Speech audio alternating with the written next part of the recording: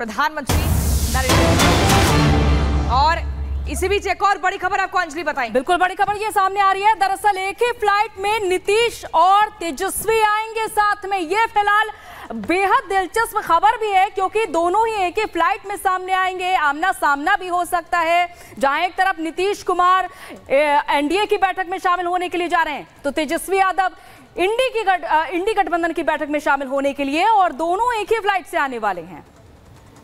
अनामिका हमारे साथ जुड़ी हुई है।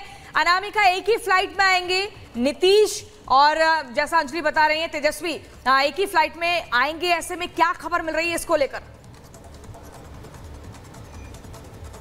देखिए, कहा भी जाता है कि दिल्ली का रास्ता है, वो यूपी बिहार से होकर गुजरता है और इस बार तो बिहार में अगर बात की जाए तो सारा का सारा खेली नीतीश कुमार के हाथ में है।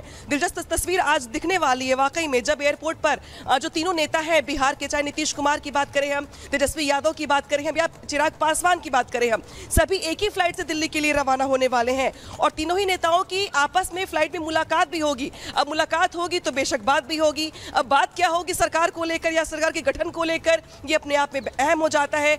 अब इस इस इस चीज़ को लेकर के चूँकि तेजस्वी यादव कई बार कह चुके कि चाचा हैं हमारे चाचा हैं हमारे सम्मानीय चाचा हैं वो कहीं नहीं जाएँगे। चार जून के बाद बहुत बड़ा खेला होने वाला है। ये बहुत सारी बातें वो पहले कह चुके हैं लेकिन आज चूँकि नीतीश कुमार की कल से जो चुप्पी है अब तक की वो बहुत कुछ बयां कर रही है। हालाँकि जो विश्वस्त सूत्र है वो ये बता रहे हैं कि इस बार पलटी पलटी मारने की गुंजाइश बहुत कम है।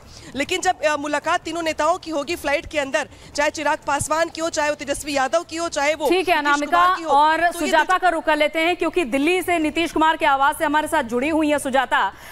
बिहार की राजनीति तो बेहद दिलचस्प रही है लेकिन अब यहाँ जब आ, आ, खास तो मौके पर जब नीतीश कुमार की ज़रूरत दोनों ही दलों को लग रही है दोनों ही पार्टियों को लग रही है तो क्या देखा जा रहा है आखिर? क्योंकि दोनों यानी कि नीतीश और तेजस्वी एक साथ एक ही फ़्लाइट में आने वाले हैं।